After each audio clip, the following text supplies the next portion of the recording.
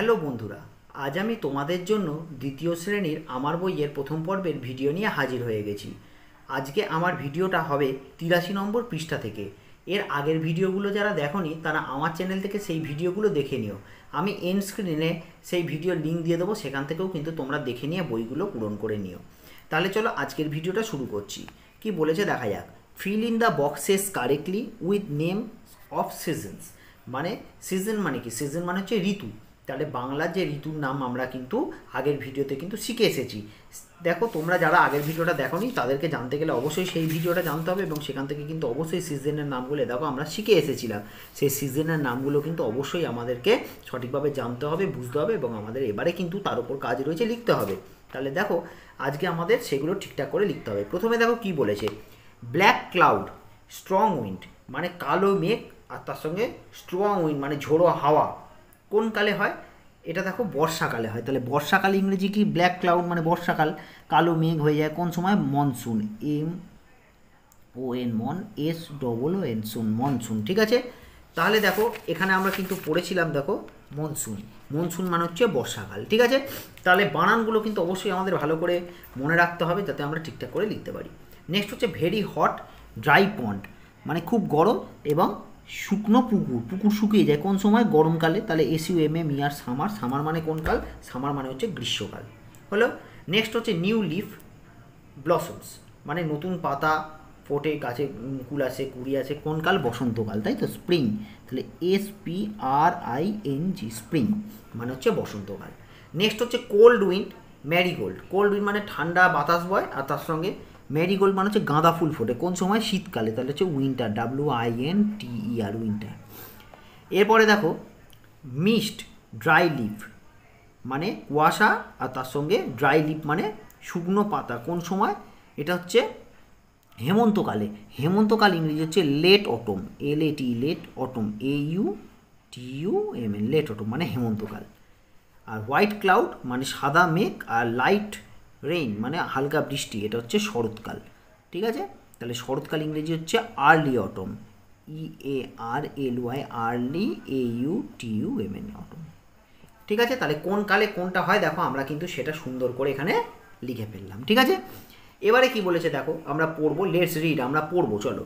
The weather changes from day to day মানে weather change হচ্ছে weather মানে কি? আবহাওয়া পরিবর্তন হচ্ছে day to day from day to day মানে একদিন থেকে আরেকদিন আবহাওয়া পুরো পরিবর্তন হচ্ছে। সাম ডেজ আর সানি কিছু দিনে হয় সূর্যালোক থাকে মানে সানি মানে রোদ ওঠে আদার ডেজ আর ক্লাউডি আর বাকি দিন হয় ক্লাউডি মানে কি? মেঘাচ্ছন্ন। সাম ডেজ আর রেইনি কিছু দিনে বৃষ্টি হয় আদার ডেজ আর স্নোই অর উইন্ডি আবার কিছু দিনে বরফ পড়ে বা ঠান্ডা বা বাতাস বয়। The weather is always changing weather মানে আবহাওয়া সবসময় কিন্তু পরিবর্তন হচ্ছে। চেঞ্জিং মানে পরিবর্তন হওয়া। We have different weather in different seasons আমরা বিভিন্ন ধরনের আবহাওয়া পাই বিভিন্ন ঋতুতে। ঠিক আছে? তাহলে বাংলা মানেটা আমি ভালো করে বলে দিলাম। লাইন বাই লাইন তোমাদেরকে আশা করি তোমাদের বুঝতে পারার কোনো অসুবিধা হবে না। এবারে দেখো different people like different seasons different people মানে বিভিন্ন মানুষ। লাইক মানে পছন্দ করে ডিফারেন্ট সিজনস মানে বিভিন্ন ঋতু পছন্দ করেন which season do you like the most তুমি কোন সিজনটা বেশি পছন্দ করো বা কোন ঋতুটা বেশি পছন্দ করো? Why do you like the season so much কেন তুমি সেই ঋতুটাকে বেশি পছন্দ করো? ঠিক আছে, তাহলে এবার আমরা উত্তরে চলে যাই। দেখো আই লাইক স্প্রিং আমি পছন্দ করি স্প্রিং মানে বসন্তকাল। বিকজ কারণ ইট ইজ দ্য সিজন কারণ এটা হচ্ছে এমন একটা সিজন অফ ফ্লাওয়ার্স মানে এটা হচ্ছে ফুলের ঋতু।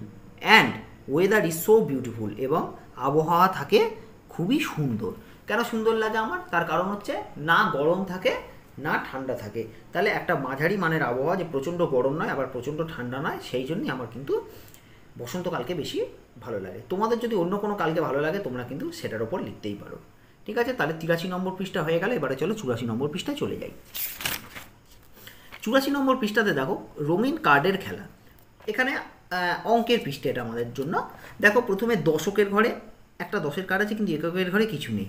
তাহলে স্থানীয় মানে বিস্তার করে লিখব। আমরা জানি দশকের ঘরে দশ লেখা আছে মানে সে কার্ডের মান হচ্ছে দশ, আর এককের ঘরে কিছু নেই মানে শূন্য। তার মানে আমাদের অঙ্কে লিখব কত? দেখো দশ এলো।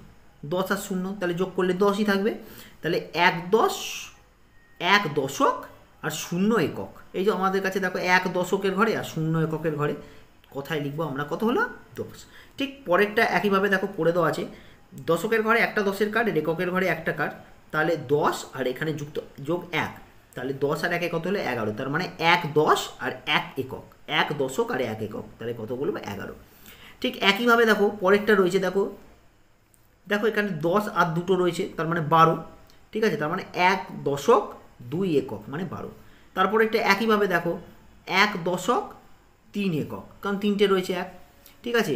এইভাবে এক দশক, চার একক মানে চোদ্দ, ঠিক আছে? একইভাবে রয়েছে, এবার পনেরো আমাকে যখন করতে হবে, তাহলে দশকের ঘরে একটা কার্ড আঁকবো, আর এককের কার্ড আঁকবো কটা? পাঁচটা? দেখো, আমি এককের কার্ড পাঁচটা এঁকেছি, আমি ভিতরে কিন্তু আর এক এক করে লিখিনি, বড্ড ঘিচি হয়ে যাবে বলে আমি কিন্তু আর লিখিনি, শুধু ওইরকম আকৃতিটা আমি এঁকেছি।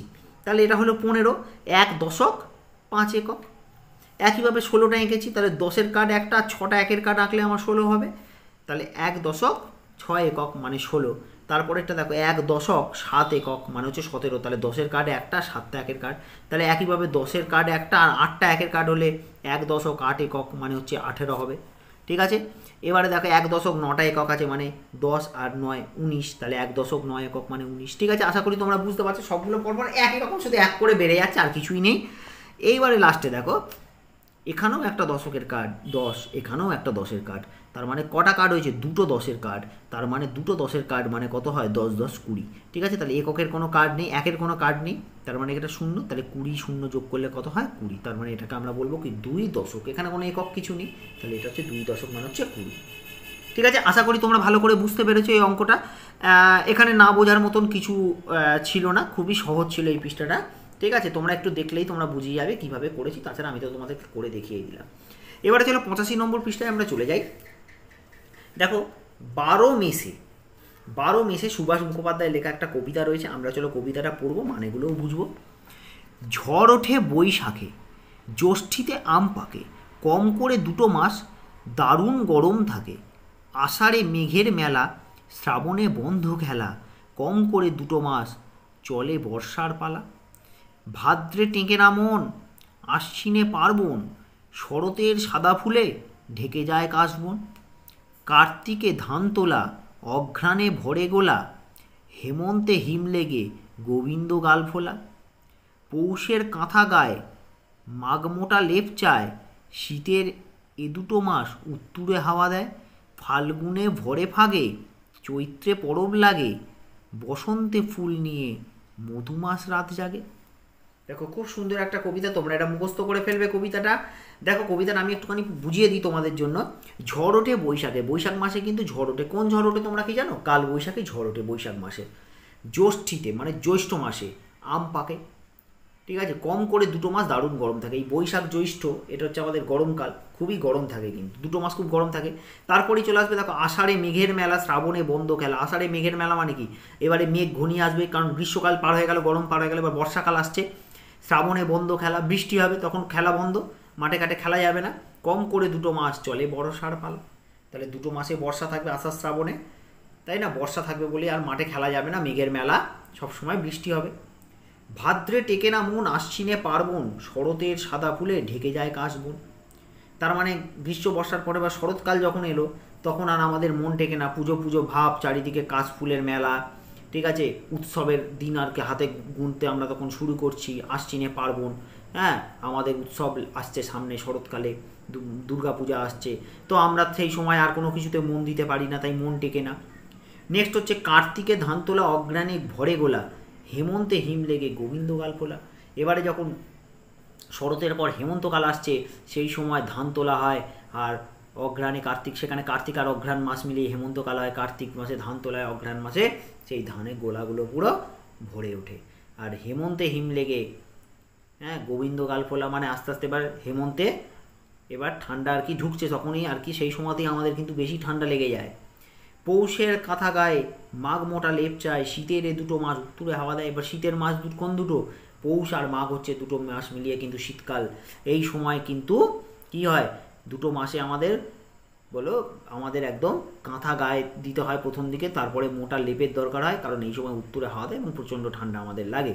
ফাল্গুনে ভরে ফাগে মানে হচ্ছে কুয়াশায় চৈত্রে পরব লাগে, ঠিক আছে? আরও উৎসব বাকি থাকে আমাদের চৈতে বসন্তে ফুল নিয়ে মধুমাস রাত জাগে, এবার বসন্তকালে প্রচুর ফুল টুল ফোটে, ঠিক আছে? তাহলে ফাল্গুন চৈত্র নিয়ে কিন্তু বসন্তকাল হয়। ঠিক আছে? এখানে কবিতা থেকে আমরা কিন্তু খুব সুন্দর একটা জিনিস জানলাম। সেটা হচ্ছে দেখো, এই বৈশাখ আর জ্যৈষ্ঠ এই দুটো মাস নিয়ে কি হয়? গরম থাকে মানে কি কাল? গ্রীষ্মকাল। বৈশাখ জ্যৈষ্ঠের পর আষাঢ় শ্রাবণ হয় না? আষাঢ় শ্রাবণ মিলিয়ে কি কাল? বড়সার পালা মানে বর্ষাকাল হয়। তারপরে দেখো, ভাদ্র আর আশ্বিন মিলিয়ে কি কাল হয়? শরৎকাল হয়। কার্তিক আর অঘ্রাণ মিলিয়ে কি কাল হয়? হেমন্তকাল হয় দেখো সুন্দর দেওয়া রয়েছে কিন্তু কবিতার মধ্যেই। পৌষ আর মাঘ মিলিয়ে হয় শীতকাল, ঠিক আছে? আর ফাল্গুন আর চৈত্র মিলিয়ে হয় বসন্তকাল। দেখো, ঠিক আছে? আমি ঋতুগুলোর তলায় কিন্তু দুটো করে দাগ দিয়ে দিলাম। তাহলে কোন কোন মাস নিয়ে কোন ঋতু হয় আমরা কিন্তু এই কবিতা থেকেই কিন্তু জেনে গেলাম। এই কবিতাটা যদি তোমরা মুখস্থ করে ফেলতে পারো, তাহলে আলো সহজে তোমরা নিজেরাই বলে দিতে পারবে কোন মাস নিয়ে কোন কাল হয়। ঠিক আছে? তাহলে এবারে চলো পরবর্তী পৃষ্ঠায় আমরা চলে যাই।